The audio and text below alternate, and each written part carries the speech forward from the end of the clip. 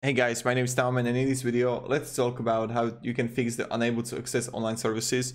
I was scouting uh, like all the Activision support forums and also their platform and everything. So the first thing you can do is like check it out if their service online. So when you go to Activision online services, you can find if it's online. But what is happening is this many times it's not even your fault that the servers are not working. If it worked before and you change nothing, there is no reason that it shouldn't work. What is the reason for it is that they like messed up something. So they got a new update, right? And in Activision, they all care only about the sweet green dollars, right?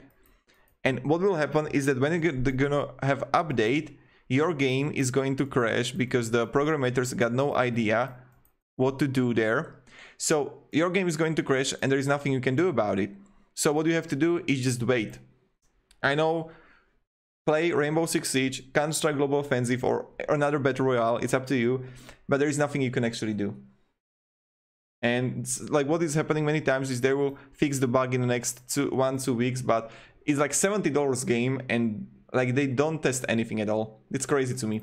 But yeah, this is it. And I know that isn't this help you and you're gonna maybe even say you know like why did i make this video? I just want to give you the reason give you the that hey man i'm here for you and it's not working with me too all the time. Goodbye